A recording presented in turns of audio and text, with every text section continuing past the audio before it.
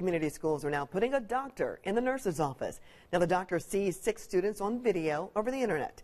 Our Rich Van Wyk tonight shows us this new prescription for keeping our kids healthy in school.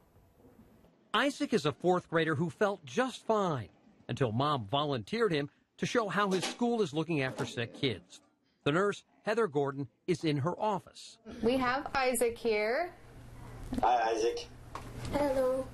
Dr. Robert Zentz is on the computer. Um, I've already put the vital signs in the documents section. I already saw them. And with some fancy cameras hidden in medical instruments, the doctor sees inside his ears, Oh, there you go. Yeah, that looks good. his throat, Ah. Oh, that's great. Did I So- get it? Yeah, I saw uh, that he has some drainage. and then his nose. Oh, there you go. That's a little bit better. Yeah, he has a cold. No strep throat, the flu, or a variety of serious illnesses children bring to school. I think it has pros and cons. It took Isaac's mom, a nurse, a little time to warm up to the idea of a doctor treating her children from miles away.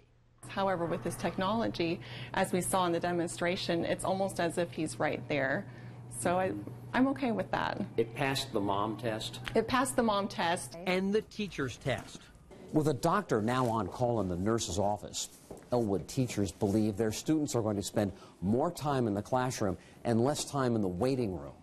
And then it tells you to circle three. Sick children aren't infecting their classmates during the days it can take them to see the doctor. And parents, they don't have to leave work to get them there. Many times our parents will have maybe a one hour appointment, but they'll be out all afternoon. The doctor can see and hear his patients, but can't touch them. He can't feel to determine what hurts and what doesn't. If I don't feel comfortable making a diagnosis, I won't make one, or I will say that you need to go see your local provider. Isaac's prescription was pretty simple. Drink plenty of fluids and get rest. But he can stay at school. Oh, absolutely. Yeah, absolutely. You can stay at school. Ha ha. Isaac, though, wasn't at all amused. Rich Van Wyk, Channel 13,